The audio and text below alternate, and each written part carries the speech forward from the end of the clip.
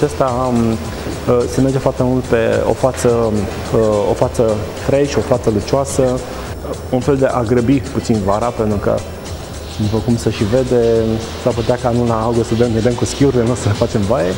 Ce am făcut colegii noastre astăzi? O combinație, o, o cromatică, exact cum am spus și mai devreme, o cromatică de culori foarte puternice, care se pot purta atât interior cât și exterior, ținând cont că partea interioară e puțin mai, mai pronunțat, afară s-ar putea să avem o, o surpriză să fie mai slab. De obicei, cam toate machiajele care le fac eu a fost expus un fel de cameleon, în care afară sunt mai slabe, interior sunt mai puternice. Ideea este așa, am folosit uh, trei nuanțe, am folosit uh, auriu, avem o pudră, o pudră nouă în care uh, se poate folosi atât pe corp și cât pe, pe față, o pudră perfectă pentru sezonul estival. Am mers cu cele două nuanțe de, uh, de roșu, da? roșu cu gazanatul puțin în oranj și am mers foarte, foarte discret cu, cu un contur de negru, dar foarte puțin, jumătate din ochi, după care s-a uh, s-a, întins foarte bine, s-a blenduit, sunt exact nuanța naturală pe care mi-o doresc eu. Jos, la fel, sub uh, zona inferioară, am folosit foarte puțin negru combinat cu puțin roșu, ca să dăm așa o culoare, că dacă rămâne doar negru simplu, atunci în cazul ăsta este foarte dur, este foarte, uh, foarte rece și noi ne dorim ca machiajul de vară să fie undeva cald.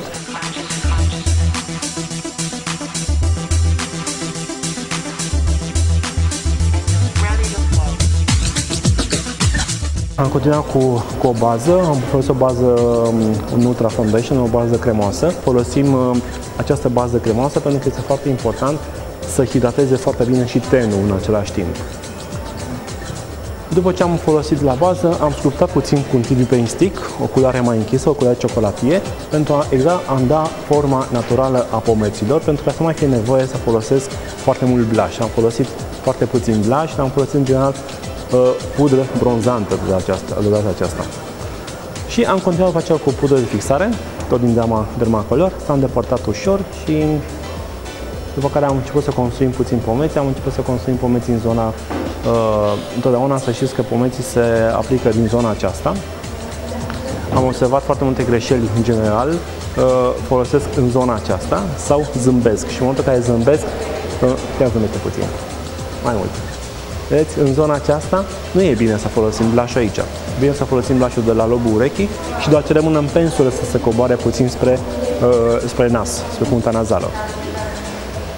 S-a folosit uh, cele, trei, uh, cele trei culori din uh, Shading Brown, care este un, uh, uh, o combinație între Glam and Glow și, și un shimmering, ca să înțelegeți pe că sunt cuvinte tehnice și să nu înțeleagă nimeni. Uh, acel uh, uh, shimmer sub formă de pudră, este o pudră bronzantă care este perfectă pentru doamnele care iubesc bronzul, care iubesc în general zona aceea de shiny, de lucruri foarte un luciu, dar nu un luciu foarte puternic ca să fie deranjat la ochi, un luciu foarte natural. De la buze am folosit un contur, un contur natural, care e foarte rezistent la transfer și la buze am folosit un high gloss, un gloss cu pigmentare, un gloss cu pigmenți, în care culoarea este foarte puternică. O să și eu arăt ca să vedeți despre ce vorbesc. Totdeauna reacția, reacția clientei când vede acest gloss se sperie. Ha, așa de puternic e pe buza mea, așa roz? Nu. Este un roz natural în care, după cum se și observă, se ia în funcție de pH-ul fiecare buză. Persoane în parte. La rimel am folosit foarte puțin, eu nu folosesc foarte mult, iar în interior nu o să folosesc deloc niciun creion, nimic, pentru că vreau să fie cât mai natural și să îl poate purta atât ziua cât și seara.